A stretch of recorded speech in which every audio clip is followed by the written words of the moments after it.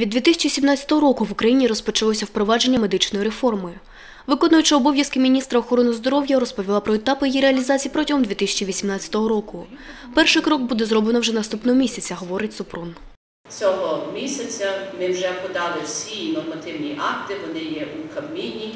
І від 1 квітня цього року, як бачите, національна кампанія підписання декларації з лікарями. Це перший крок. Перший крок пацієнти будуть приходити до наших сімейних лікарів, з вами підписувати декларацію. Я хочу, щоб ви були моїм лікарем.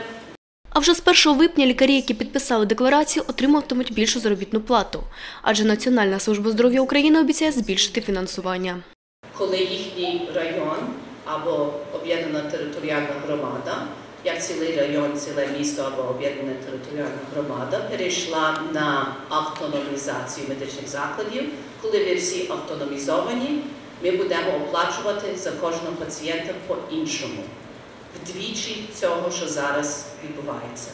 Нагадаємо, на Миколаївщині планується створення чотирьох госпітальних округів, де обслуговуватимуть 700 тисяч жителів області. Уляна Супрун каже, рішення виїжджати до пацієнта додому чи приймати його безпосередньо у лікарні залишається за лікарем.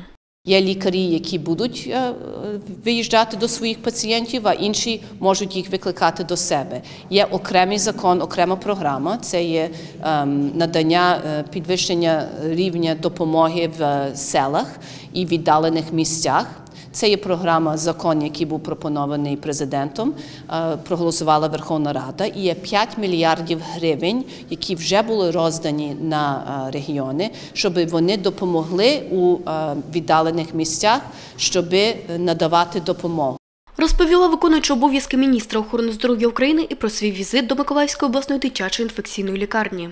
Персонал виглядав, що вони супер, але умови не дуже на високому рівні.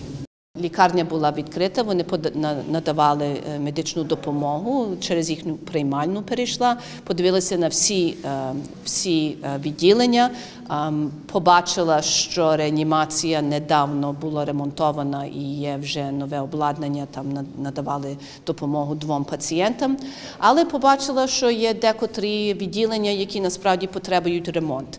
Під час свого візиту Уляна Супрун поспілкувалася зі студентами медичного коледжу та відповіла на питання миколаївських медиків. Зокрема, щодо їх подальшої роботи в рамках реформи, адже певні питання поки що залишаються. Супрун у свою чергу звернулася до них з проханням активніше пропагувати серед пацієнтів профілактичні щеплення. Світлана Кльосова, Юлія Кускова, телевізійні новини Миколаївщини.